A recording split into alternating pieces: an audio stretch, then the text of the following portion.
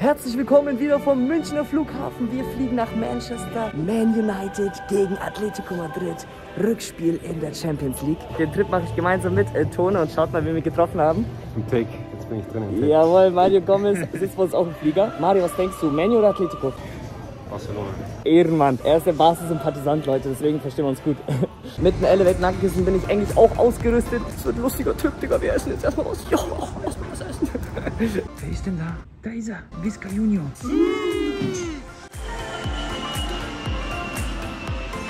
Gelandet in Manchester. Vamos. Und wie war der Flug? Super geil. Wir nehmen jetzt ein Taxi, fahren erstmal zum Hotel. Vor ein paar Tagen war ich ja noch auch wieder in Manchester. Das ist auch wieder gefühlt meine zweite Heimat. Und City hat verloren. Ne, unentschieden. Unentschieden. Das Ja, heißt Mann. jetzt, es ist richtig spannend. Gegen City, das wird geil. Ein Punkt, nur noch Unterschied wahrscheinlich. Boah, Benzema hat wieder doppelt getroffen. Und übrigens auch gute Besserung an Florian Wirtz wegen seinem Kreuzbandriss. So, Tone. Wir sind da. Unser Hotel, Freunde, ist einfach mitten bei so einer Baustelle. Hoffentlich sind da keine Bohrarbeiten morgen früh. Da wäre das Old Trafford. Wir sind nicht so weit weg. Hallo? Eli, Hi. alles gut? Salam alaikum. Ich bin on stream. Ja, wir sind Manchester. Bruder, wir waren so Wings essen in Manchester bei so einem Lokal. Wie hieß denn das? Das war endlecker. Nandos. Ey, sind wir nächsten Sonntag auch im Klassiko? Wir sind auch. Was? Echt? Lass uns da treffen, Bro. Oha, Leute, Eli ist einfach auch beim Klassiko mit Sydney. Da wird auch ein Vlog dazu kommen. Hier ist richtig komischer Geruch, ne? Stimmt, Turnhalle. Aber so diese eklige Turnhalle. Hier haben wir direkt ein Waschbecken im Zimmer. Dusche. Ja, ist äh, alles auf engem Raum, aber trotzdem eigentlich ganz gemütlich. Reicht aus, Leute. Bettsprung, wieder angesagt. So. Oh, oh, oh, Digga. Simon Transfer, endhart. Alter. Wie klein ist bitte die Toilette hier?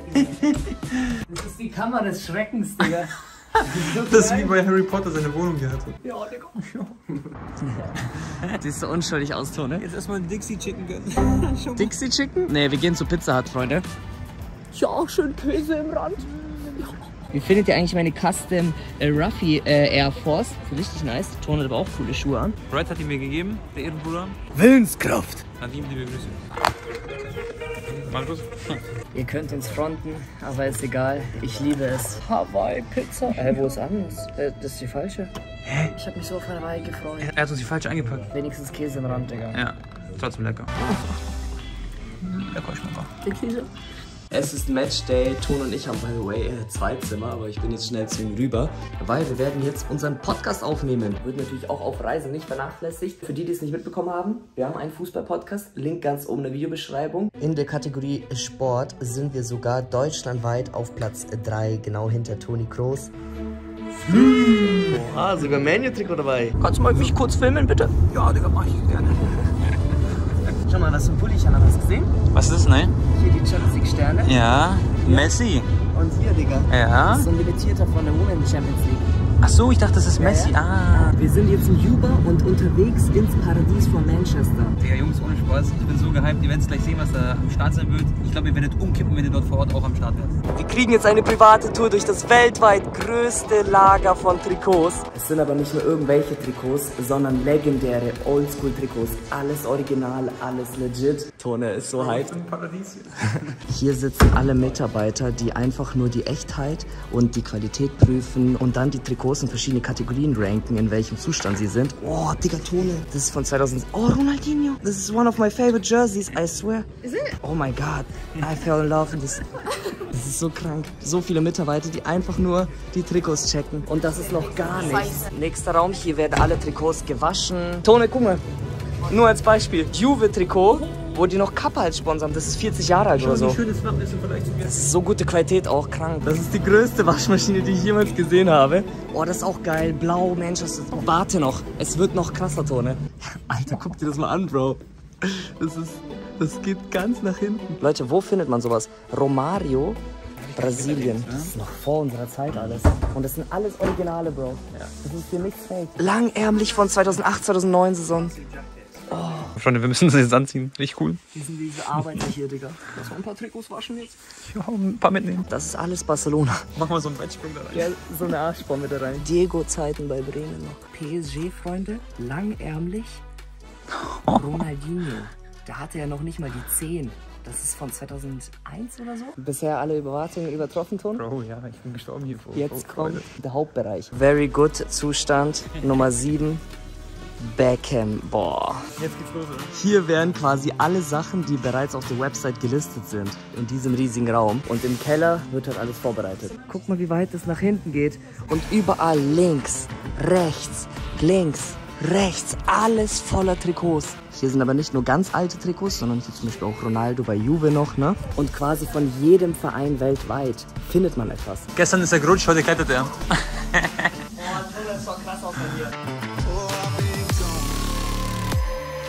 Jetzt sind wir im heiligen Zimmer. Hier ist die private Sammlung vom Chef von dieser ganzen Company. Ach, das ist privat. Hier ist es. I love that you know where it is.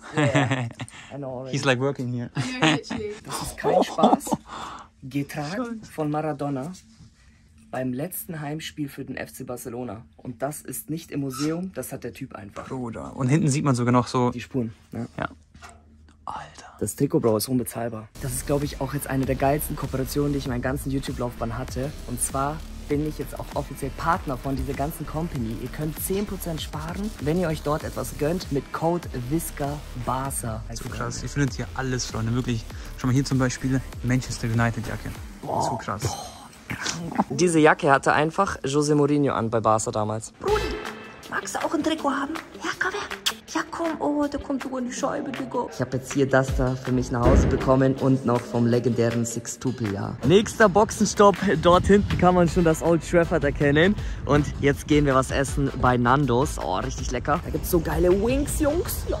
Ich hab so Hunger. Ja, ich auch. Wir haben noch nichts gefrühstückt. In drei Stunden geht das Spiel los. Da sitzt schon einer mit Ronaldo-Trikot. Chillig. Vamos, Tone. Hier war ich mal mit Eli, Leute, vor ein paar Monaten, als Ronaldo sein Debüt gefeiert hat. Hello, for two persons. Wie viele hier mit Manchester-Trikot sind, ne? Oh, sieht das lecker aus. For free. To Man United. For free. Oh, this is special tip, okay? I think 3-1 to United. 3-1, okay. Good luck, yeah? I think Ronaldo is only going to score two today. Two. It could be, it could be. Oh, sieht das lecker aus. Mais, noch Brot, Salat. Es riecht lecker. Geil.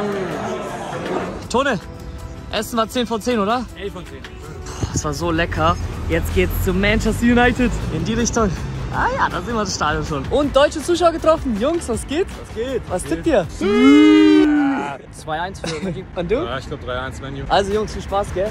Danke. Ciao, ciao. Tone nimmt gerade eine Story auf. Also mit diesem Schal laufen hier so viele rum. Oh, der ist aber auch äh, nice mit seinem Jubel. Sogar die Brücke ist hier in United-Farben. Oh, Tone, hier ist ein nicer Fluss. Anton, lass schwimmen gehen. Here we go, Freunde. Das Old Trafford Tone. Ich tippe Elfmeterschießen und Atletico kommt weiter. Ich tippe Verlängerung und äh, Atletico kommt, glaube ich, weiter. Aber ich bin heute für Manchester United. Ja, ich muss auch sagen, ich würde es feiern, wenn Manu weiterkommt, damit wir solche Spiele haben wie Manu gegen Real, Ronaldo zurück im Bernabeu oder Manu gegen Bayern. Das wäre halt mega nice. Ich glaube Atletico, weil die auch im Hinspiel deutlich besser gespielt haben, werden heute den Hasen. Aber wer weiß, wenn vielleicht Ronaldo einen geilen Tag hat, dann ist ja, natürlich. Can I ask you for your prediction for YouTube? 2-0, mate. 2-0 for Manu. Manu. Nice, nice scarf, bro. Thank you. Yeah, bye. Hier auch noch Atletico-Fan, ne? Auf Spanisch bestimmt. Puede preguntaros por eh, la predicción. Eh, 1-2. 1-2 para Atletico. 1-2. Dos para Atlético, para Atlético. Vale, vale, mucha suerte. 1-2 para el Atlético de Madrid. 1-2. ¿Y tú también? Ah, los tres, 1-2. Okay, vale, mucha suerte. Ciao, ciao. Ey, wie korrekt die sind. Aber die haben alle drei 1 zu 2 für Atletico getippt. Oh, Digga, schau mal, Tone, die gönnen sich so geile Burger, Digga. Ey, wir haben so viel gegessen. Wie können wir überhaupt daran jetzt denken? Ronaldo ist aber der Kryptonite von Atletico Madrid in der Champions League. Wie oft hat der schon im Finale gegen die gewonnen oder bei K.O.-Spielen, auch damals mit Juve, diesen kranken Hattrick gemacht, weißt du noch? Ja, weiß ich. Hier Polizei, auch überall. So, Bro, schau mal, das ist die Frontansicht. Da ist die Vereinslegende, der Bobby. 80% der Leute haben hier aber auch ein Ronaldo-Trikot an, ne? C'est sole champion. Good, good, good food. Ja. Nächste UEFA Champions League Vlog, wir sind dabei. Was geht denn da ab, Leute? Die buhen da alle. Was ist das? Das sind die Atletico-Auswärtsfans. Die werden Polizei eskortiert. Er zeigt Mittelfinger. Er den Mittelfinger. Die United-Fans singen Viva Ronaldo, hochlebe Ronaldo. Er hat der Angstgegner von Atletico. Alter, wie viele von den Mittelfinger zeigen, ne? Schaut mal, die beleidigen sich alle rüber. United! United! Ich mache immer mit, es macht keinen Spaß. Wie viele Pferde sind da? Alter, 1, 2, 3, Triple Nuclear Life. Apokalypte Clan. Ich und Angel. Willenskraft. Alter, das Pferd. Love it. Love it. Das sind die äh, Ultras von United. Yeah!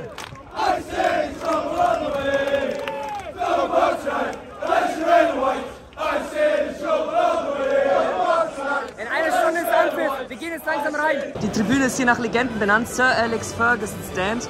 Nice. Das ist unser Block. Wir müssen jetzt hier wie am Flughafen durch so einen Check durch. Tone, keine Pyros schmuggeln. Sorry. Thank you, Sir. Es kann sein, dass wir sogar VIP-Tickets haben. Hier ist sogar roter Teppich und so. Oh, richtig geil. Wir sind im 500 Club. Krass. Bro, ich glaube, da sind so Getränke inklusive und so.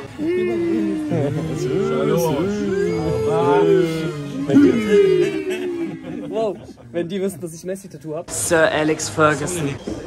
Eigentlich der legendärste Trainer, muss man sagen. Ja, ich. Das ist jetzt unser Eingang. Wir müssen erstmal hier durch. Schau mal, Bro, wie, die, wie, wie edel sogar die Türen sind. Ich würde so gerne aufs Klo hier gehen. Jetzt kann man hier chillen, seine Jacken hinhängen. Oh, Tone, lass ein Bierchen gönnen, Digga. Herr Ferdinand, Leute, als Experte im englischen Fernsehen. Dann haben wir hier lecker Essen. Oh, die Upper Red Burgers. Oh, thank you so much. Okay, ist doch nicht kostenlos. 12 Euro, zwei Bier. Jetzt endlich zu unseren Plätzen. 3,28 Bro. Irgendwo hier sitzen wir dann gleich. Ich gehe mal ein bisschen runter, damit ihr das Stadion seht. Yeah. Und Tone, was sagst du? Gigantisch, ist echt krass. Richtig nice. Oh! Ey, das war das krasseste Aufwärmtor in all meinen Stadionblocks. So Leute, in wenigen Minuten geht's los. Man hört die Hymne fast gar nicht, so laut ist es. Ja, die Hymne läuft, man hört sie fast nicht. So, jetzt.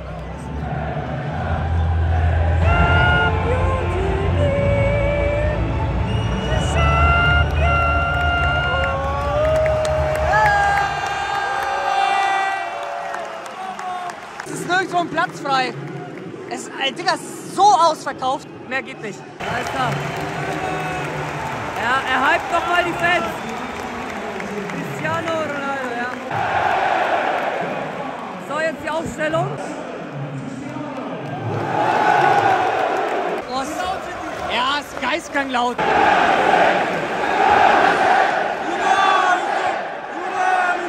Sancho von Anfang an, Bruno Fernandes, Ronaldo und Atletico. Vorne nicht heute mit äh, Suarez, aber Felix und Griezmann. Oh! Oh mein Gott! Der war so knapp über der Latte. Cristiano am Ball. Übersteigert. 1, 2, 3. Ja. Und. Oh, Glück gehabt. Ronaldo. Wieder.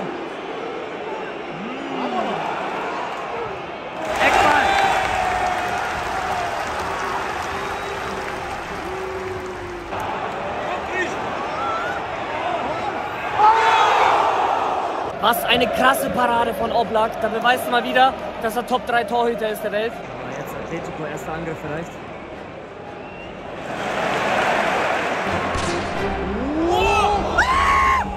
Oh mein Gott!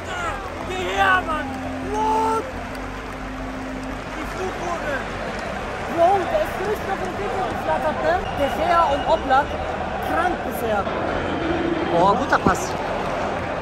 Oh das war ein ganz, ganz dickes Ole. Eckball, Eckball. Alter! Junge! Als ob ein Tor gefallen ist. Sind so halb bei der Ecke. Krass, ja Mann. Oh, gucke. Guter Doppelpass.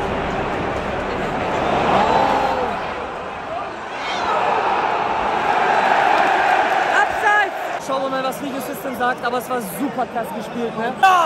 Kein Tor, Leute, es zählt nicht. Oh.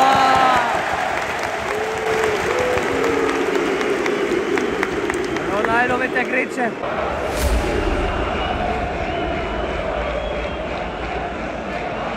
Oh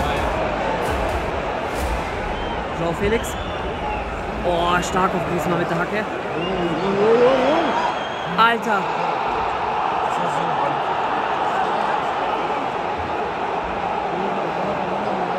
Das war so gut gespielt. Davor mit der Hacke, Zusammenspiel mit Joao Felix, Griezmann, dann perfekte Flanke. Aber United dennoch bisher gutes Spiel. Atletico war eiskalt. Oh, die Fans gehen so ab da hinten. Guckt es an. Alle am Springen.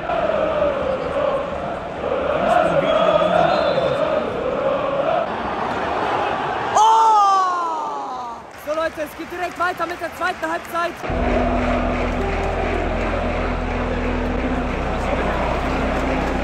Ja, Ronaldo zeigt's an. Der muss in diesem Raum gespielt werden. War schon lost die Flanke. Aber warum pfeifen die ihren eigenen Kapitän noch so aus, Digga? Wenn Maguire am Ball ist, macht das ganze Stadion immer so. Das verunsichert ihn ja immer noch mehr.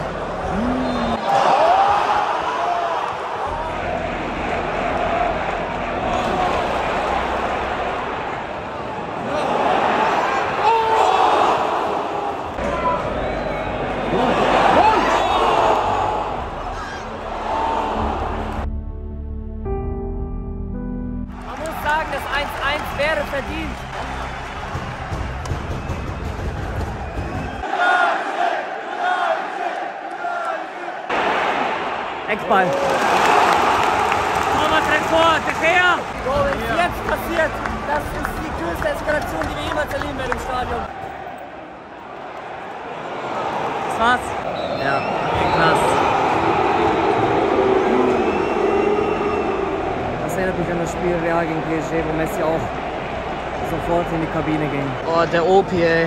Der ist bestimmt schon seit 50 Jahren im Stadion.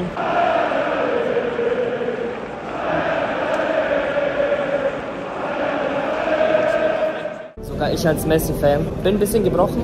Ich auch. Ich hätte es Ronaldo gegönnt, wenigstens in die Verlängerung zu kommen, ja. Ja. Atletico hat es am Ende natürlich schlau, dreckig zu Ende verteidigt. Und ich habe mir so gewünscht, im Old Trafford zu sein, einmal dieses zu hören und ich bin ein bisschen gebrochen für Ronaldo. Aber man muss halt auch sagen, in 90 Minuten hatte Ronaldo nicht einen einzigen Abschluss. Lag natürlich aber auch daran, dass die Flanken teilweise miserabel waren auf ihn. Ne? Ich hoffe, euch hat der Stadionblog trotzdem gefallen. Schaut auch bei Classic Football Shirts vorbei und unseren Fußball-Podcast. Links oben in der Videobeschreibung auch abonniert Tone und Peace.